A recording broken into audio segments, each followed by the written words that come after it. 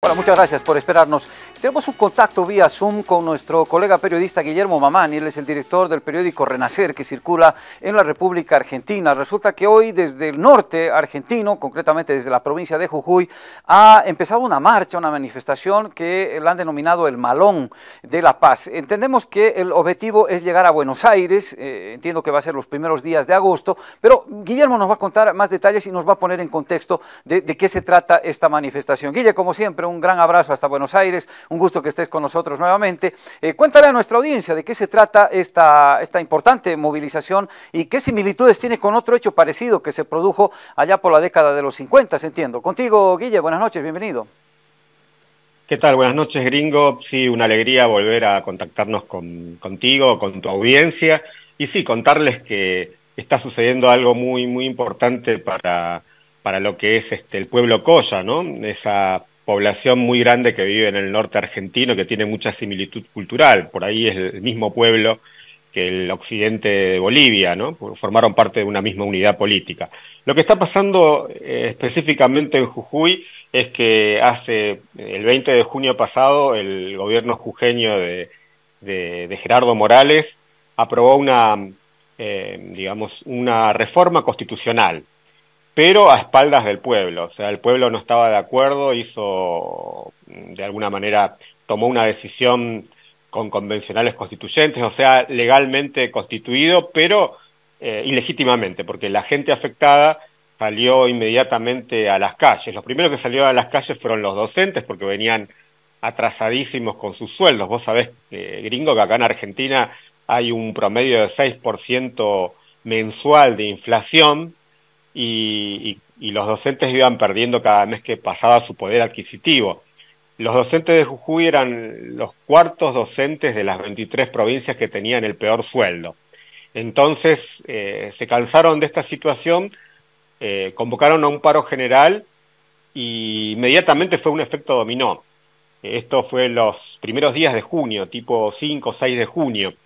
Y mm, Después le siguieron eh, los indígenas, ¿no? Porque esta reforma constitucional básicamente lo que está tratando de, eh, de cambiar es el derecho a la protesta y es administrar las tierras fiscales. Las tierras fiscales es donde mayormente viven los pueblos originarios de la Puna, de la quebrada jujeña. Y justamente en la Puna se encuentra el gran reservorio de litio que comparte con Bolivia y con Chile, que es el territorio del Triángulo del Litio. Y mm, estas poblaciones están siendo afectadas porque el gobernador Morales de alguna manera avanzó sobre esos pueblos sin tener la ley de su lado, o sea, con su fuerza. Y ahora reformó y consiguió modificar la constitución para tener la posibilidad de eh, avanzar sobre esos territorios indígenas, eh, avanzar sobre los derechos reconocidos por el Estado argentino y tener vía libre para poder explotar los recursos, que es el kit de la cuestión de lo que está pasando. Por eso se está marchando desde, digamos, desde lo que es la Puna, desde La Quiaca, desde Abrapampa, desde Purmamarca, donde eh, el, grueso, o sea, los pueblos originarios de Jujuy eh, salieron y se convocaron en un corte que se realizó en la localidad de Purmamarca. y salieron justamente desde este sector el día de hoy acaban de llegar y de pasar por la capital de Jujuy, San Salvador de Jujuy, y se están dirigiendo justamente a la localidad de Perico. Perico, bueno, es un lugar donde eh, vive mucha, es el lugar donde vive la mayor parte de la comunidad boliviana en la provincia de Jujuy.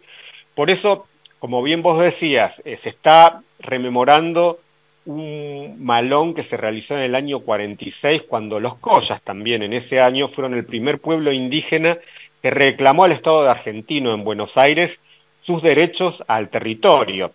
Y uno no puede dejar de pensar que, bueno, 76 años después eh, se vuelve a, a, pedir lo mismo, ¿no? Porque el gobierno va muy lento en reconocer la propiedad comunitaria de los pueblos indígenas de esa zona y es un vacío legal que permite que estadistas como Gerardo Morales, que ahora es candidato a vicepresidente por eh, el partido Cambiemos de Macri, eh, y está haciendo una campaña electoral también con esto. Está en juego muchas cosas, está en juego el futuro de Argentina porque el modelo de Jujuy que intenta implementar Morales es justamente los no derechos, pasar por encima de los derechos de la gente, no reconocerlos y de alguna manera eh, criminalizar la protesta. Se está empezando a hacer una persecución a periodistas. En este momento nuestros compañeros que están cubriendo desde Jujuy tienen inhibidores, no pueden eh, transmitir en directo desde allá. Y este, por el lado judicial se está intentando silenciar la, protesta que es legítima, que hay derecho a la protesta, pero parece que esto en, la nueva propuesta de, Morales, que tuvo un papel importante en el golpe de Bolivia, eh, se intenta retroceder, se intenta retroceder a épocas de la dictadura, se están, eh, se están violando derechos humanos, inclusive se violó la autonomía universitaria y se detuvo a un docente hace escasas dos semanas. Eh, se secuestró a la gente en automóviles que no eran policiales, sin placa judicial, y hasta el abogado que le inició un juicio al gobernador tiene prisión domiciliaria. O sea que estamos ante un hecho que lamentablemente los grandes medios de comunicación no le están dando la cobertura necesaria, pero bueno, nuestro caso, eh, desde el periódico, nosotros sabemos que están en juego muchas cosas, por eso estamos siguiendo al dedillo la cuestión. Buenísimo. Muchísimo, como siempre, la posibilidad de entablar estos contactos contigo. Eh, dos preguntas muy puntuales. ¿Cuánta gente es la que ha partido desde el lugar y eh, cuándo se estima que estarán llegando a Buenos Aires? Sí, eh, partieron aproximadamente 200 personas que están haciendo un que van a hacer un recorrido ya por la Puna, por la Quebrada, ahora están por la capital, van a ir a Salta, van a pasar por Catamarca, por Santiago del Estero, por Tucumán, van a llegar a Córdoba, de Córdoba a Rosario, de Rosario a Buenos Aires se estima el 3 de agosto. Pero bueno, van a estar las comunidades indígenas. Vos sabés que es muy particular el tema de las comunidades indígenas en Argentina porque es reciente el reconocimiento de muchas de ellas, ¿no? De autopercibirse como indígenas. Un proceso quizá que se dio en Bolivia ya hace bastante tiempo. Pero bueno, en todos estos lugares los reciben otras comunidades indígenas de otros pueblos porque estos que están viviendo los collas en, el norte argentino ya lo vivieron hace poquito tiempo los mapuches y lo viven otros pueblos que se encuentran recursos naturales de gran valor y al lugar donde los arrinconaron justamente se encuentran ahí y evidentemente los intentan expulsar y, y, si no en este caso exterminarlos por goteo, porque en última instancia la contaminación que va a tener no va a permitir la vida en la puna jujeña.